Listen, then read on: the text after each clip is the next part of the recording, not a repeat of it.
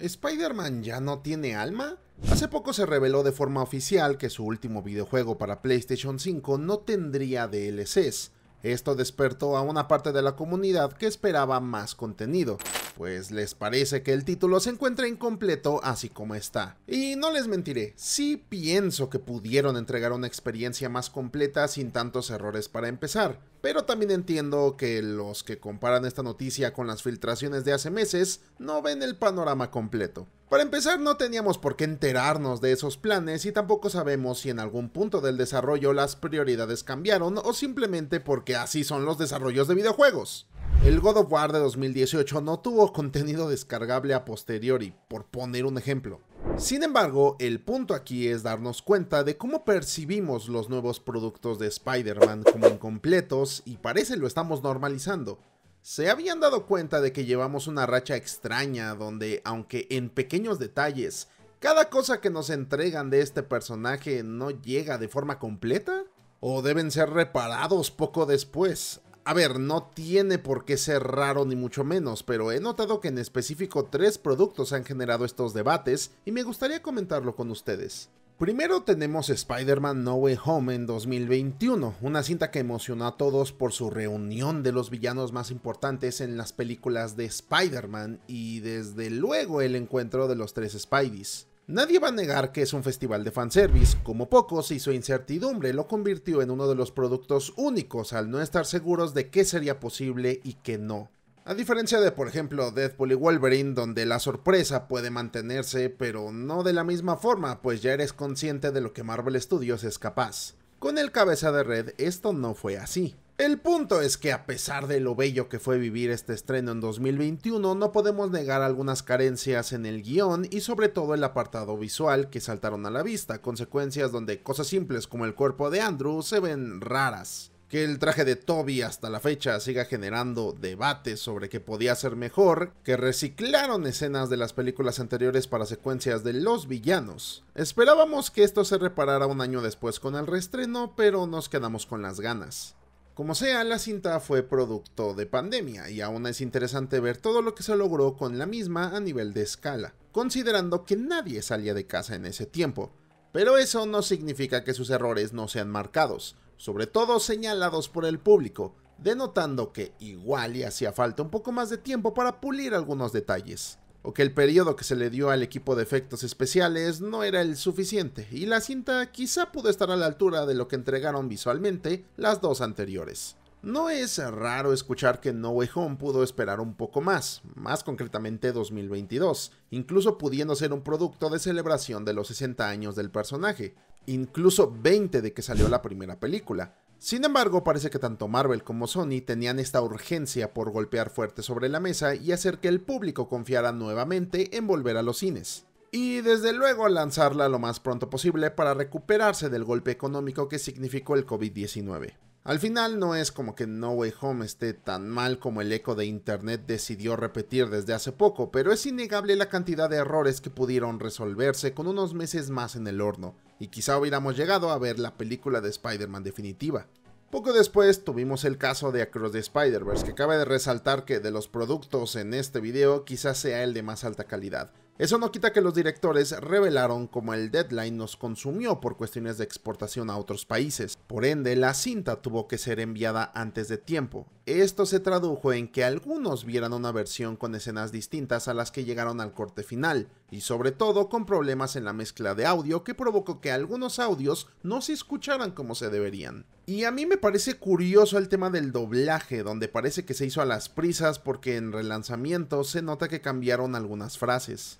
Tampoco exageremos, no son cosas graves y no les mentiré, no me percaté de muchos de estos conflictos la primera vez que vi la cinta, pero no quiere decir que no debamos mencionarlo.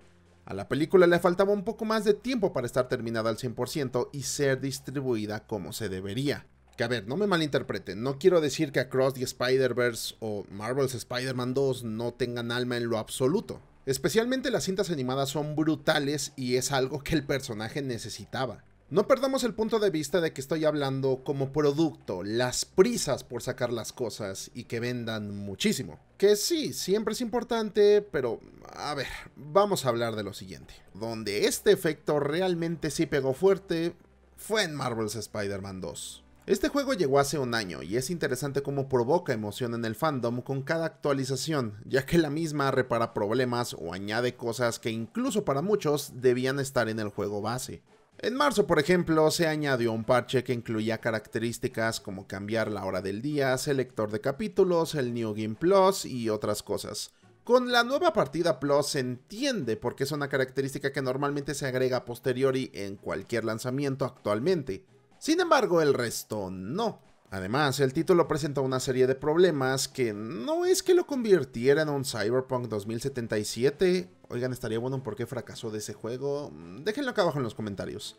Pero sí fueron lo suficientemente ruidosos como para que varios jugadores los notaran. Al videojuego le hizo falta un poquito más para estar al 100%, pero no solo esta necesidad por lanzar títulos incompletos está normalizada actualmente, sino que el propio Spider-Man es una máquina de dinero. Tanto Marvel como PlayStation debieron saborearse las ventas navideñas para exprimir al máximo la IP, lo que es lógico, pero es un problema cuando nos damos cuenta de que la experiencia no estaba en condiciones indicadas para un lanzamiento de este tipo. O sea, tenemos al estudio sin anunciar un DLC y no sabemos si los cancelaron de forma interna para mejorar el rendimiento post lanzamiento o simplemente consideraron que al final y no era buena idea mantenerlos. Como sea, lo que merecemos como consumidores es que el juego base llegue bien, y estoy seguro de que el plazo entre octubre y marzo pudo ser suficiente para completarlo. Pero de nuevo, ventas navideñas. Estos tres ejemplos me hacen pensar, cada producto de Spider-Man nos emociona mucho, queremos más y más rápido, pero esto es peligroso.